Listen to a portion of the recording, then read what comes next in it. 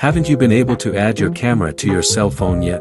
In this video we are going to show you how to configure your cameras with the Cam 720 application quickly and easily. In just a couple of minutes we will guide you step by step so that you can look at your Wi-Fi camera on your cell phone without errors or setbacks.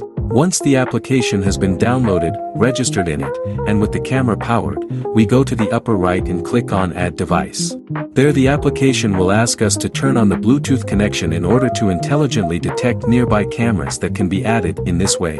Immediately the application detects the connected camera, we click on the notification that describes the camera with the acronym BQA. We click next and here we will be asked for the data of our Wi-Fi network to which we are going to connect. Make sure to confirm that your camera is compatible with the selected network and the password is written correctly before confirming. This step is important because not all cameras are compatible with 5G networks and placing the information correctly determines their correct connection. After this we look at the network connection of our cell phone and confirm that we are connected to the Wi-Fi, which we need without password errors in the network data. It is at this point where we can press the next button so that the application can confirm the network data and proceed to add the Wi-Fi camera to our cell phone. This process may take a few seconds until we see confirmation that it has been added correctly.